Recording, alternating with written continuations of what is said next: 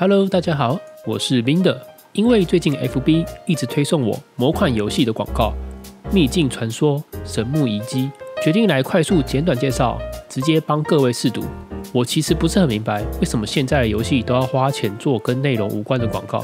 其实也不是说不能做广告，但常常真的反差太大。总觉得玩家水平一直在提升，但很多游戏厂商却一直在走落后的宣传手法。一开始查了一下这款游戏，台湾是由魔方数位代理，但却没有提供开发商。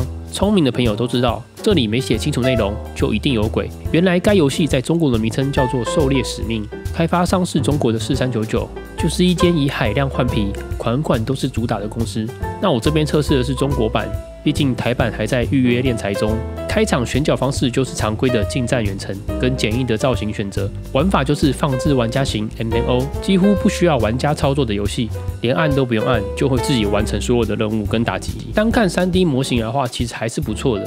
如果打磨一下，何尝不是一款佳作？而介绍中有提到能转换游戏方向的功能，但我是没有找到，大概率是胡烂的。可惜游戏的内容真的太无聊。也不用考虑剧情了，加上根本没操作的体验，除了浪费电影外，我不知道玩家能享受到什么。不如找个实况组看他玩，他至少还会跟你互动。结论：完全不建议各位浪费时间下载。